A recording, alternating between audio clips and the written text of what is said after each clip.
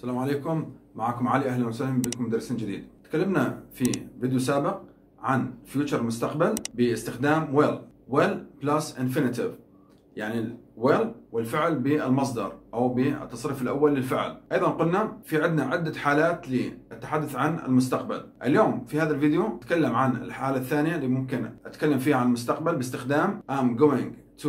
ال verb بالتصريف. نتابع في هذا الفيديو. الحالة الثانية نتكلم فيها عن المستقبل باستخدام be going to والفيرب one الفعل بالتصريف الأول. كما قلنا سابقا بشرح أي زمن باللغة الإنجليزية يجب أن نعرف عنه سبع أشياء. for كيف يشكل الفعل. use متى استخدم هذا الزمن. general rules قواعد عامة عن هذا الزمن. question أيضا سؤال. short answer عندنا إجابة قصيرة. negative النفي. وعندنا adverbs الظروف. إذا يجب أن نعرف كل هذه الأشياء السبعة عن كل زمن بشكل مرتب بحيث إنه بيكون عندي الزمن بشكل سهل أتعامل معه وأستخدمه كتابة أو حديثا. نبدأ اولا بالفورم شكل الفعل. عندما أستخدم be going to verb 1 يشكل المستقبل هي الحالة الثانية لتشكيل المستقبل. قبل درسنا well والفعل verb 1 أو نسميه infinitive اليوم كما قلنا نتكلم عن be going to verb 1. be أقصد بها am is are بعدين going to وضيف الفعل بعد to. يكون الفعل بال infinitive infinitive يعني المصدر يعني بالمضارع بدون أي إضافة. نلاحظ he is going to buy a new car. لو سألنا شخص وين الفعل بالجملة ممكن يقول لي buy وهذا خطأ. ممكن going الفعل وهذا خطأ. الفعل بال future بهذه الحالة بيكون مكون من أربع أجزاء.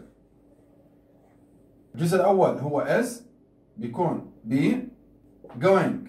الجزء الثاني to الجزء الثالث وباي الجزء الرابع. إذا أربع أجزاء.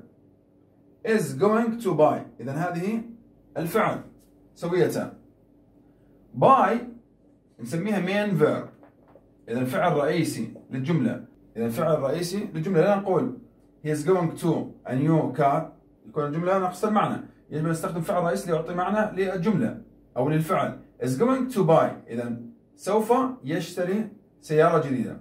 نترجم is going to سوية بسوف أو س. والفعل buy. يعني سوف يشتري. إذا هذه الثلاث كلمات دائما تكون مع بعض. يعني يكون عندنا is أو am أو are. بعدين الفعل جو آي إن جي طبعا تأتي مع سوية مع بعض going بعدين to هالتركيب هذا is going to نترجمه سوف. مثل بالجزء الأول is going to هو يقابل will اذا ثلاث كلمات هي بمعنى will سوف. He is going to buy a new car. سوف يشتري سيارة جديدة. إذا شكل الفعل بال future بالمستقبل بيكون عندنا be بعدين going to والفعل بال infinitive المصدر يعني بالمضارع يعني نقصد به هو لازم يكون بالمصدر. يعني المضارع نقصد به إنه بدون أي إضافة. اذا الأصح بنتكلم ب infinitive بالمصدر بدون أي إضافة. الاستخدام الأول لل future المستقبل ب be going to verb 1 اذا أربع أجزاء كما قلنا. To make a prediction about a future event. Because of something we can observe now. ليه؟ نصنع. تنبؤ. ليه؟ نتنبأ عن a future event حدث مستقبلي. كيف؟ Because of بسبب. Of something بسبب شيء ما we can observe now. شيء ما نلاحظه الآن. يعني شيء نلاحظه الآن نتنبأ في المستقبل سيحدث شيء آخر. مثلا their mom is going to have a baby. يعني ستولد أمهم طفل. وسيكون عندها طفل. لماذا؟ because she is pregnant. لأنها حامل. معناته لاحظنا أنه هي حامل pregnant معناته راح يكون عندها طفل. إذا تنبأنا على حدوث شيء معين اعتمادا على شيء نلاحظه الآن في هذا الوقت. نلاحظ شيء في هذا الوقت لذلك نتنبأ بحدوث شيء في المستقبل. بنينا على الحدث الحالي أو الملاحظة الحالية. Their mom is going to have a baby. ستولد أمهم طفلا. اعتمادنا على أنها حامل. Look at the sky. انظر إلى السماء. It's going to be nice and sunny. And sunny. ستكون جميلة ومشمسة. لماذا؟ اعتمدنا انه السماء no clouds ما في غيوم والجو بيكون صافي. ما توقعنا إحنا أو تنبأنا is going to be nice and sunny. اذا الاستخدام الأول نتنبأ بشيء بالمستقبل اعتمادا على ملاحظة في الوقت الحالي. الاستخدام الثاني للمستقبل باستخدام be going to verb 1 to express an intention to do something. نعبر عن نية لفعل شيء ما. يكون عندنا نية داخلنا لنقوم بشيء معين. The player is going to help them. اللاعب سيساعدهم أو سيساعدهم اللاعب. لاحظ الفعل هو is going to help. إذا أربع أجزاء. إذا في نية للاعب سيساعد هؤلاء الأشخاص. إذا هاي intention في نية مقصودة. I'm going to buy a new car. سأشتري سيارة. إذا عندي نية راح أشتري سيارة. متأكد أن أشتري هذه السيارة لأن في عندي مال معين يكفي لهذه السيارة. إذا خلاص أنا متأكد. I'm going to buy a new car. إذا عندي نية أن أشتري هذه السيارة. إذا الاستخدام الثاني للفيوتشر إذا كان عندي intention نية لفعل شيء ما. General rules قواعد عامة بالنسبة للزمن هذا كما قلنا be going to verb 1 أربع أجزاء. be راح تكون am is are إذا تحت قائمة be بعدين عندنا going to والفيرب 1 فعل بالتصريف الأول. إذا الجزء الأول الثاني الثالث والرابع. كما نعرف I تأخذ am I am he she it is he is she is it is we you they. We are you are they are. هذه بالنسبة لآم وإز وآر. ممكن أختصرها أختصر. am بهالشكل هذا نحذف حرف. ال A is أيضا apostrophe. S R أيضا. أحذف ال A. تصبح apostrophe بهالشكل هذا. إذا عندنا I am. أكتبها. أو أكتبها. I'm he. Is أختصرها. His we are أختصرها where إذا انتبه لهذه الملاحظة. ومن الأفضل دائما بكون أختصرها. بترجم am going to سوف أو س is going to سوف. Are going to سوف. إذا جميعهم بمعنى سوف. لكن أستخدم am مع I. كما قلنا هي شيء is. We you they are. إذا جميعها لها نفس الترجمة. دائما وأبدا أول ثلاث أجزاء أترجمهم سوف أو س إذا معا لا أترجم بشكل أحادي أو ثنائي أو ثلاثي لا. دائما ثلاث أجزاء بترجمهم سوف. الفعل بعدها على حسب الفعل بيكون مثلا I'm going to eat سأأكل وهكذا. لا نقول ذاهب أو وهكذا. إذا دائما am going to is going to are going to ترجمها سوف. لتشكيل سؤال بالفيوتشر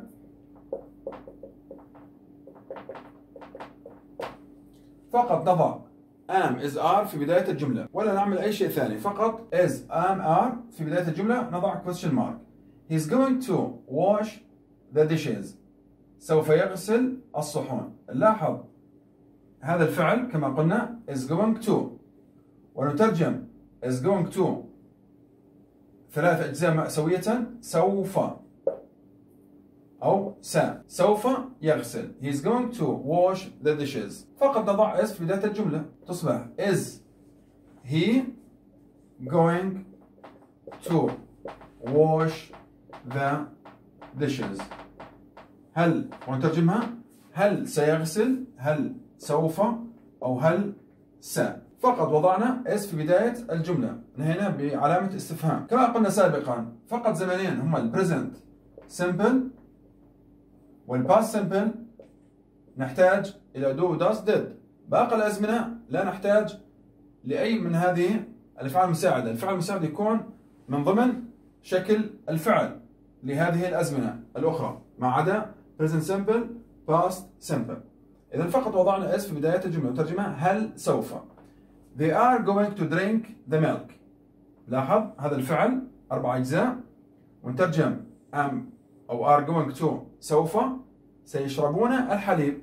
لتشكيل سؤال فقط نضع are في بداية الجملة. تصبح are they going to drink the milk. نضع question mark. علامة استفهام. Are they going to drink the milk يعني هل سيشربون الحليب؟ وضعنا are نترجم هل سوف أو هل س لم نغير أي شيء في الجملة. وضعنا are في بداية الجملة وننهيها بعلامة استفهام. ننتهي لهذه الجملة. He is going to go to the garden. سيذهب إلى الحديقة. نلاحظ هذا الفعل. Is going to go. إذا الفعل الرئيسي في الجملة هو المين فيرب go. كفعل ككل. أربع أجزاء كما قلنا. Is going to go. Is going to go. هذا الفعل في الجملة. Go. كما قلنا main verb فعل رئيسي. نترجم is going to سوف. Go يذهب. يعني سوف يذهب. ممكن شخص يسأل go هي نفسها هذه لا. لأنه دائما تأتي أو يأتي هذا التركيب is going to سوية. مع مع بعض is going to بمعنى سوف. هذه الفعل الرئيسي. Is going to go. سوف يذهب. short answer إجابة قصيرة. دائما وأبدا كما قلنا الفعل المساعد اللي نسأل به نجاوب به. إذا لاحظ بداية الجملة are نجاوب are بداية الجملة is نجاوب is is he going to help me? هل سيساعدني؟ نضع yes. كما full stop. وهكذا. نقلبها مرة ثانية switch. Is he تصبح he is. Yes he is. نعم سيساعدك. No he is not or isn't سوف لن يساعدك are they going to be happy هل سيكون سعداء yes no are they تصبح yes they are no they aren't yes they are no they aren't إذا دائما الفعل المساعد اللي يسأل فيه يعني يكون بداية الجملة يجب أن نجيب فيه. كان is أجاوب is كان are أجاوب are وهذا مع كل الأزمنة سمعت do أجاوب do does أجاوب does well well have have وهكذا. لنفي الجملة بالفيوتشر باستخدام is going to are going to am going to. فقط بعد. am نضع not. is not are not. ممكن أختصرهم ب مثلا I'm not. لا أستطيع أن أختصر. amend بهالشكل هذا. كما قلنا في فيديو سابق خطأ. Is not أختصرها. Isn't are not aren't. أو ممكن أختصر. Is اضع not. He is not. They are أيضا أختصر. Are أيضا أختصر. Are أضع apostrophe are واكتب not بشكل كامل اذا فقط بعد am is are نضع not he's going to read the new book أو she is going to read the new book سوف تقرا كتاب جديد فقط نضع بعد is not تصبح she is not going to read the book أو the new book سهله اذا فقط بعد is اضع not ونترجم is going to سوف لما نضع not is not going to نترجمها سوف لن إذا دائما بالنفي نترجمها سوف لن. They are going to clean the cat. سوف ينظفون القطة. لنفي هذه الجملة نضع not. They are not going to clean the cat. إذا لاحظ سوف لن ينظفوا القطة. نترجمها سوف لن. إذا لتشكيل نفي ب be going to فقط بعد am is are نضع not. ونترجم ب سوف لن. بهذا الشكل تكلمنا عن الحالة الثانية للتعبير عن المستقبل بفيديو سابق تكلمنا الحالة الأولى باستخدام well infinitive.